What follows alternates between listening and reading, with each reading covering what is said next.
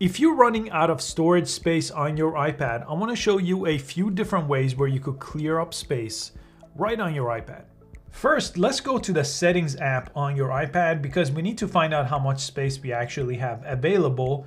And if you go to the general tab here and you click on iPad storage under general, it's going to give you a chart of how much space you have in total and how much of it you've used up. So I actually just went through this process before recording this video and I cleared up ton of space. So all this dark gray is the empty space. So yours might be filled up. So what do we need to do to empty some space? Let's go through some of the settings. You could go about this in two different ways. One is just taking the Apple recommendations and then there's some manual options I wanna show you as well. So what Apple is going to recommend here, let me press show all, is going to recommend that you offload unused apps as one of your options, which I'm going to show you how to do.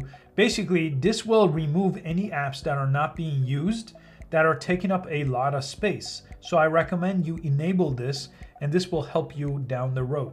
Then you could delete old conversations. Typically text messages with a lot of attachment takes up a lot of space. So you could go ahead and enable this here and if you have any downloaded videos that are large, right here, I have a gigabyte of downloaded videos, it will bring it up. Now, these are from Netflix, and I could go ahead and just delete them this way.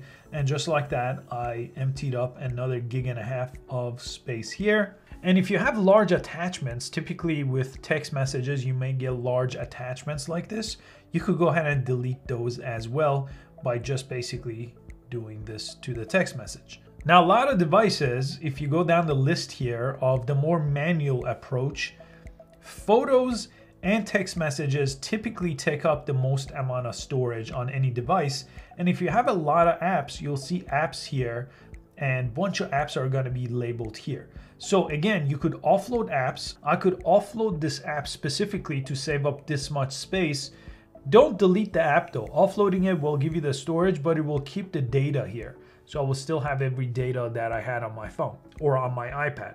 So if you're gonna use the app again, just offload it. And then when you offload an app, it will still show the icon here and you just tap on the icon and it will re-download the app back for you.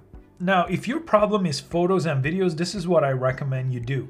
I recommend instead of storing your photos and videos locally on this iPad, you actually use iCloud instead.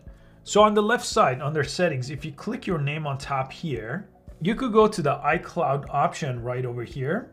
And this is what I have stored in my iCloud. This is basically everything that is not on this iPad that I've backed up to Apple iCloud. You could access iCloud using your different devices like this or from iCloud.com. So what I recommend you do is either upgrade your iCloud and then you could take everything off. This is how I basically have a full iCloud and an empty iPad. I turned on photos.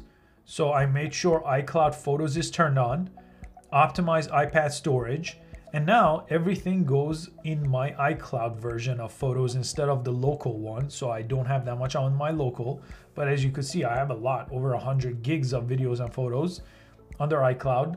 And I also have almost everything else turned on here to back up to iCloud. If you want to turn on messages here too, then you don't have to worry about messages taking up a lot of space. So go through this list and turn on as many of them as you want to empty storage from your iPad and put things on iCloud. Again, by default, you don't get 200 gigs. I paid extra and I pay extra every month to get this. So manage storage here and you could upgrade yours as well. And you could see my plan is 200 gigs and you could see all the different things that take up space there. Now this is also related to my iPhone too. So it's iPhone and iPad. They all go to the same iCloud here. 100 gigs of space. I have my backups here and everything is being backed up. What I recommend you do if you want to just empty your storage on your iPad. I hope you found this quick video useful and I'll see you next time.